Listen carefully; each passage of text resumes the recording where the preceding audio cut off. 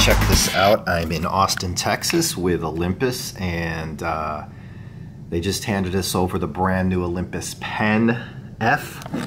This is the brand new pen, the Pen F, from Olympus, which mimics the old classic Pen F, uh, the old half frame film camera, which is what the original pen basically was uh, going after. But this one is a true Pen F digital recreation. And the most exciting thing, there's tons of stuff on this camera that's pretty exciting. But the most exciting thing is this new knob here, which has, it says mono, color, art, or CRT. But mono right there is what's really exciting because you could slap this big hefty metal dial onto mono and you will have uh, a monochromatic style image. And it, you have settings in here. You have one, two, or three presets. First preset will be neutral. Second preset mimics something called Tri-X. Um, and the third one is simulating an IR uh, film. And you can tweak and control and change the grain, and you can add grain, but the grain is not a uniform grain. It depends on the image you take on how that grain is spread throughout the image, just like film. So Olympus has somehow again stepped it up. And after the last release from Olympus, I said, I really don't know what they can do to add to these cameras. They're so cool as it is. So now you have the monochromatic dial, which you can, it's not like the art filters. It's, so it's not like you're just throwing on an art filter. It's an all new monochromatic mode. And then you have a color mode here, which simulates chrome film. And there's three different presets. There's a neutral, there's a rich uh, slide type of preset, and then there's a really vivid type of slide chrome. And it's really cool. And what you also have now on the pen that was missing from all other pens is the built-in EVF. It's the same EVF that's in the uh, EM10 Mark II. You also have a dedicated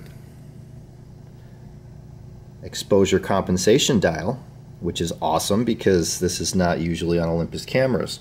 You have your big fat shutter button right here and you could throw in a manual old cable release which is really cool. You have all your camera modes as usual your power button here. I have a 1718 mounted. Um, you have your video button here. This is a gorgeous camera. It looks retro it looks vintage it feels solid it's wrapped in a premium leatherette style covering and look at this, even the back LCD you can close off if you don't want to use the LCD, which I'm not going to be using it all day today, but it's wrapped in the same leatherette covering. And you have little design touches here that are just pretty amazing, a cutout for your fingers to rest. Um, there's not one visible screw on the entire body. No screws.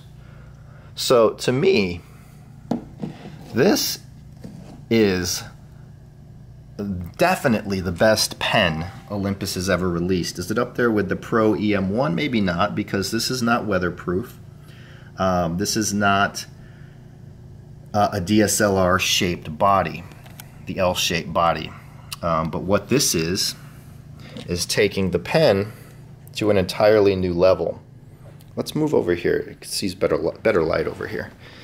It's beautiful, especially in silver. You have down here your battery and your memory card that goes there. And there's just so much customization. Of course, you have the latest and greatest five axis image stabilization inside. So meaning you could mount the 300, the new 300 millimeter f4, which is going to give you 600 equivalent focal length, and you can shoot that handheld. Um, that's what's so cool uh, about the Olympus 5 axis. They're the originators, they're the inventors of the 5 axis technology, and they implement it better than anyone. Um, so there you go. And I'd like to say that App, or Olympus, I almost said Apple, and there's a reason I almost said Apple. Olympus to me is like the Apple of the camera world. Nobody makes cameras like this. Not Fuji, not Sony, um, no one, no one makes them with this much thought, this much cool factor, and it just works. Um, Olympus cameras are quick to focus.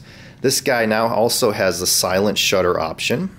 uh, 1 16 thousandths of a second, uh, up to 20 frames per second. You can also use the mechanical shutter, which will give you 10 frames per second. This is a fast little camera, extremely well made.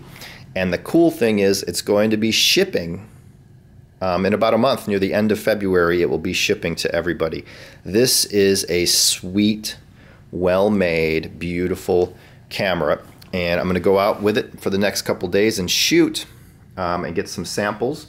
But from what I've seen so far, um, it's your typical um, really good micro four thirds quality, except Olympus this time went away from the 16 megapixel and we're now at 20 megapixel in a micro four thirds sensor. So I'm interested it'll be interesting to see what the uh, lower light performance will be like.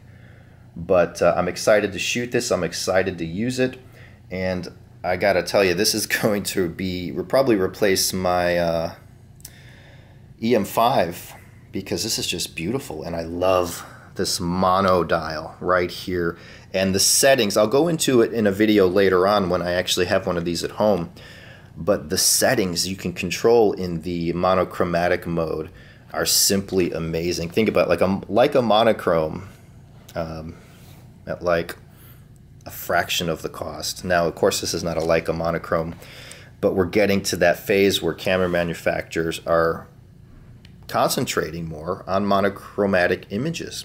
So it's very cool. So there's the first look from Steve Huff Photo at the Olympus Pen F.